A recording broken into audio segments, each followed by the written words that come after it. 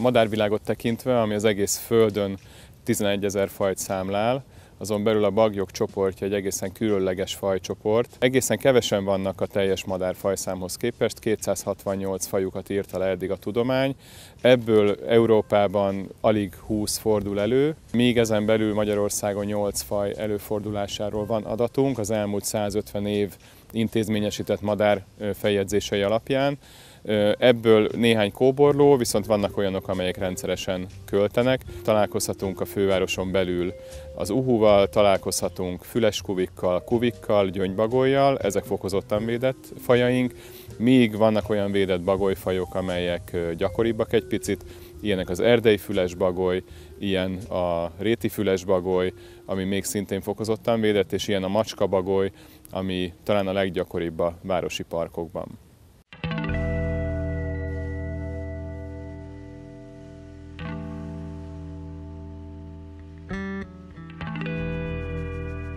A nagyobb méretű bagjaink közé tartozik, egészen nagy feje van, sötét szeme. Budapesten az öreg parkokban, erdőségekben viszonylag gyakori, de eléggé rejtett életmódot folytat, ugyanis ők nappal nagyon ritkán ülnek ki a fészkelőhely környezetében. A legnagyobb állománya elsősorban Budapesten belül a budavidéki erdőségekben található meg. A Normafa környékén nagyjából 8-10 pár macskabagolyról van tudomásunk.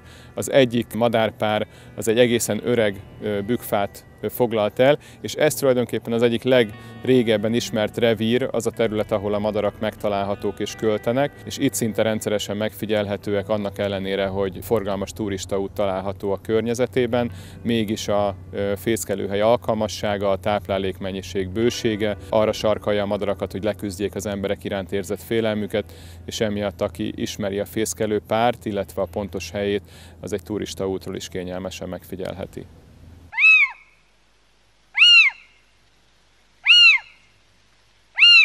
Vidéki tanyákon, illetve kis falusias környezetben, kis településeken rendszeresen megjelenik egy bagolyfajunk, a kuvik. Tulajdonképpen ők egy olyan biológiai fegyvert jelentenek az ilyen tanyák környékén, települések környékén, hogy a rákcsálókat kordában tudják tartani, tehát nagyon nagy hasznot hajtanak nekünk, és ezek a bagolyfajok egyúttal azt is mutatják, hogy egy-egy területnek az állapota, a természetessége nagyban javul. A 17. kerületben a lovardák környékén ezt jól meg lehet figyelni. Most már elmondhatjuk azt, hogy Ecser és Maglót környékéről szépen lassan feltelepültek bagolypárok, kuvik párok a városba, és a 17. kerületben 6-7 pár kuvik megjelenéséről tudunk az elmúlt 10 évből, és úgy látjuk, hogy talán szaporodik is ez az állomány. Ez nagyon nagy öröm számunkra, madarászok számára, ugyanis a kuvik egy egészen ritka, sőt folyamatosan ritkuló madárfajunk itt Magyarországon, ugyanis az állattartás mindenhol szorul vissza, és sajnos ennek az egyik komoly kárvalótja a kuvik.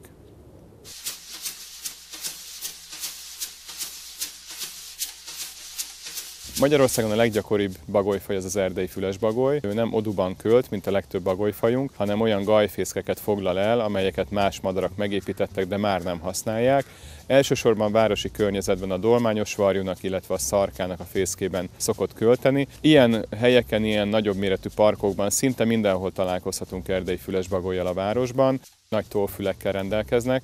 Sokan ismerik is ezt a részét a bagyoknak, azt is gondolják általában, hogy ezzel hallanak, de ez nem így van, ez egy olyan toll csomó gyakorlatilag a madárnak a fején, amelyik hangulatjelző elem. A fülük oldalt található a fejen, de a tollak takarják, ezeket soha nem láthatjuk szabad szemmel. A tollfül viszont egészen máshol helyezkedik el, és amikor a madár feszült, ideges vagy valami veszélyt érez, felmereszti. Ha jól érzi magát, nyugodt vagy pihen, akkor általában pedig lelapítja, oly annyira, hogy akár el is tűnhet a tollfül a fejen, és nem vehetjük észre.